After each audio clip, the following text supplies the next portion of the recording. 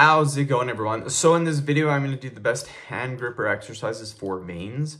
So before I get started, please subscribe to my channel if you haven't already.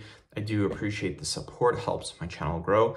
Now, I train with hand grips. I've been training for probably five years. Um, basically every day or every other day, I train with hand grips. Um, the basic hand grip exercise is literally just taking the hand grip and closing it like this. That is a great exercise. And um, it's fine when you're progressing through, let's say, 100 pounds to 150 to 200 to 250. Like I have probably eight different hand grippers that I use. Um, once you start getting a little more advanced, you need to start doing some different exercises. So one of the best hand gripper exercises I have ever done is going to be actually reverse hand grip training. So you, instead of holding the hand grip like this, you're to hold it like this. This is reverse.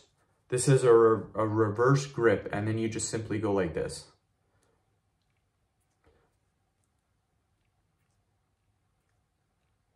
That is probably one of the best hand grip exercises. It is something that allowed me to progress from 300 to 350 pounds of resistance.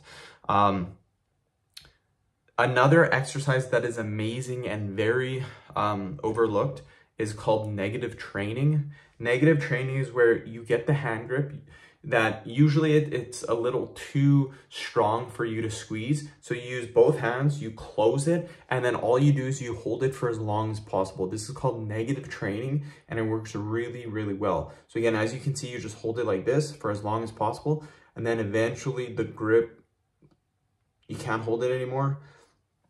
And that is how you do it. Those are the two best hand grip exercises for veins. Like your veins will pop from doing these. End of video. Thank you so much for watching.